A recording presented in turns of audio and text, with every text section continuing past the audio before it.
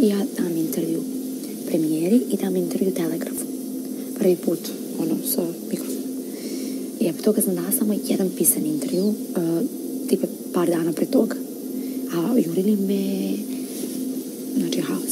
Pisali izmišljene gluposti, tako da. Nisam dala ništa da dajem. I stvarno sam bila kao i ovdje. ništa nisam trebala u principu. I ovaj, uh, taj intervju bili dva na trendingu u Srbiji.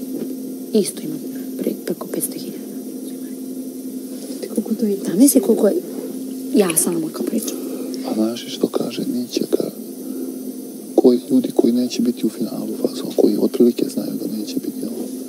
Najbolje kaže da izađu tri, fazon dva, tri mjeseca pre završetka. Kaže zato što su oni tad u centru pažnje. I konstantno se piše o toj osobi sve dok ne, dok ne bude finale. Razumeš? Da.